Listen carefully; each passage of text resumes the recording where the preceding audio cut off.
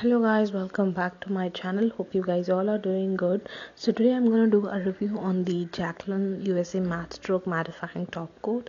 So i'm just going to do a swatches on different type of nail uh, paint finish like shiny gloss and every type of uh, finish we have. So uh, the basic concept of buying this nail polishes like we can't afford all the matte nail polishes so i thought like why don't we convert our favorite nail polishes into a matte finish? So that is the reason i just bought this top coat and just to save a little bit of money.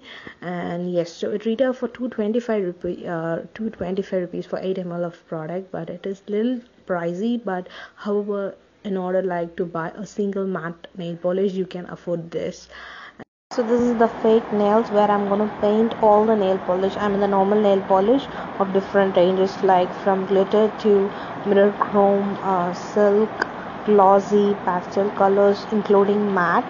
And once i'm done with it uh, you can see like after it dried up i'm just gonna uh, give a stroke with this uh, matte I mean matte top coat. And so that you guys have an idea like how this top coat works on different type of finish Swedish, Swedish,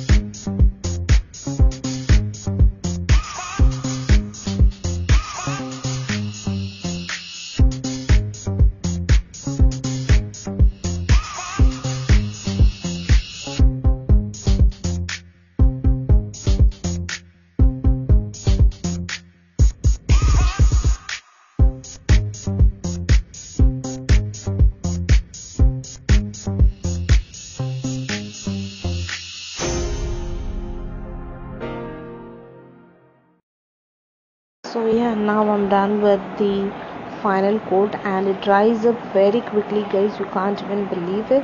And yes so this is the uh, images with flash and after this i'm going to show you guys without flash uh, so it dries up very quickly. And if you want to know more information about the product i will put it in the description box. Do check it out so this picture is from the natural lighting and i i think you guys can figure it out uh, with and without lighting. And i really love the finish of this uh, matte top coat and it's a single coat and with a single coat itself you will find a big difference and i really loved it.